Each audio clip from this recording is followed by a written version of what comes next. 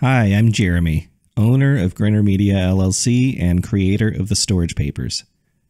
On behalf of the Storage Papers team, I'm excited to announce that we're adding two tiers to Patreon for our curators, in addition to our current $5 single tier.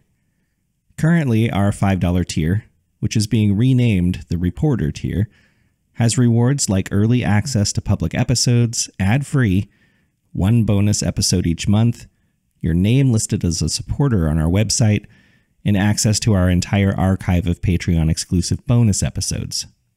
A new tier we're offering at the $10 pledge level includes additional monthly rewards, which will rotate every month between various types of rewards like behind the scenes content, which we call Between the Lines, episode shorts of Dramatize This, where I'll be doing readings of non dramatic material, but in a very dramatic way. Submissions will be accepted by patrons. And of course, we'll be doing live stream sessions that may include Q&A, early info about the Storage Papers productions, and news. Of course, we're open to suggestions from the curators about additional content they'd like to see, but you'll gain at least one of these additionally monthly.